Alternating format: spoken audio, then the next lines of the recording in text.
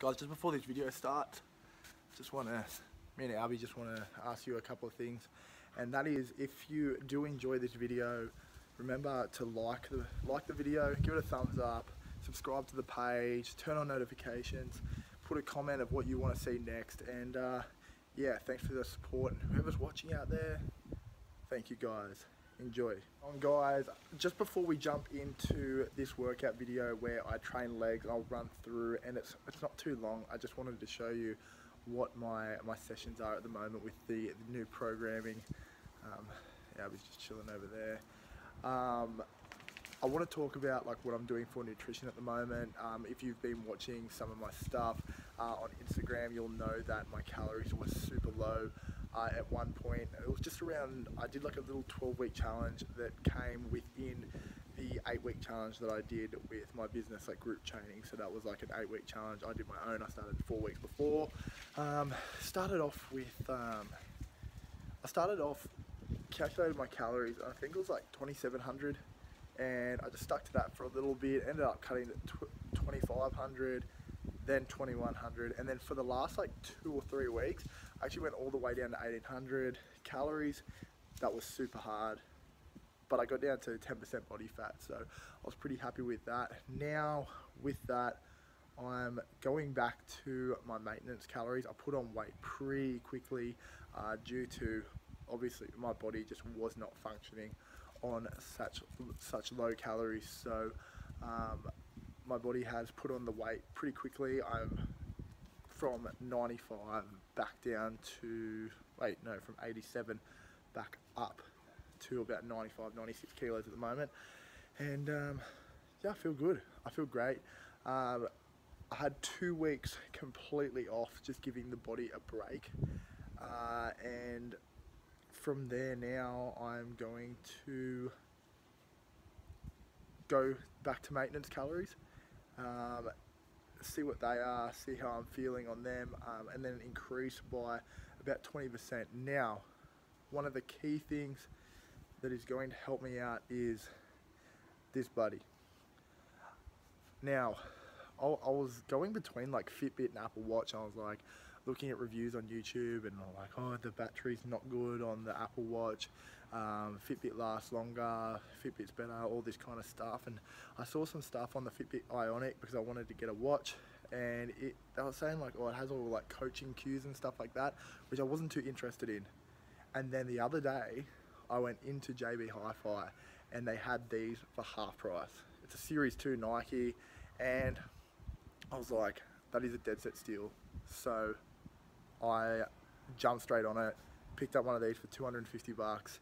And it's epic guys and it's going to be one of the key things that I'm going to be using while um, calculating my calories and what I need to be eating because I burn probably like it's it's midday at the moment and I've already burnt what's that 15 nearly a thousand calories. Now with my scan my BMR says that I burn around 2200 so straight away, straight away, I have to be eating at least three and a half thousand to remain the same weight that I am now. So what I'm going to do is be eating around 4,000 calories and I'm going to be through fats. So like in the morning, having peanut butter, putting peanut butter in my shakes. Um, also having butter, having full cream milk because I enjoy it as well. And um, yeah, doing it that way, guys. So then I'm not so full from all that rice. And I'm also going to be having uh, fattier cuts of steak and stuff like that and cooking in butter. So that could be interesting. It's going to be great food anyway.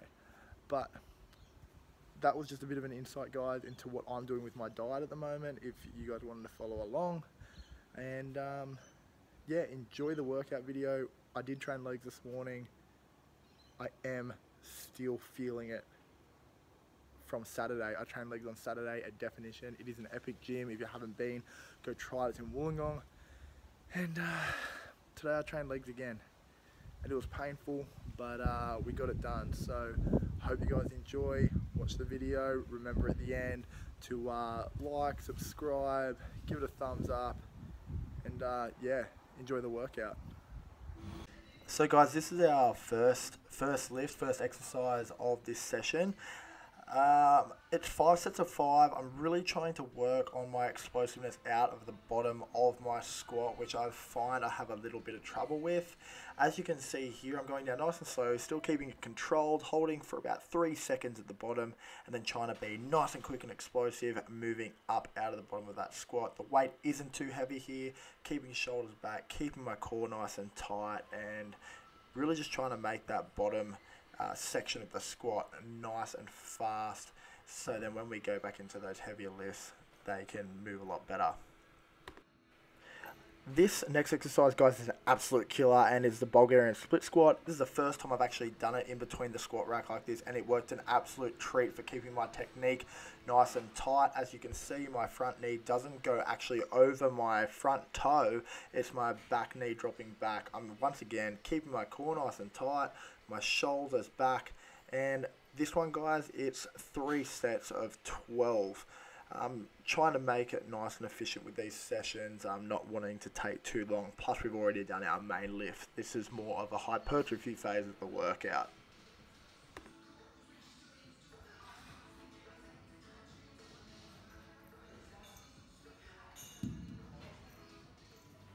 This exercise here is a great one for the guys and girls if you are chasing booty gains. As you can see, JT is being a pain in the ass here. So we are doing kickbacks, glute kickback machine. Um, my glutes were kind of killing by this point. Um, kept the weight uh, at about 70%. Going back, really trying to kick upwards and contract those glutes and hamstrings at the top of the movement. We've only been doing this exercise for the last block and then also now this block and we are just really enjoying it. It feels really natural now and a great movement for building those glutes and hamstrings.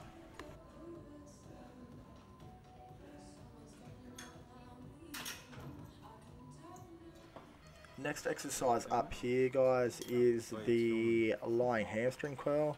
Uh, I don't know if you could see there, but I actually went a little bit slower there onto that pad because I can still feel the uh, quad session I did at definition over the weekend and it was painful even just to lay down.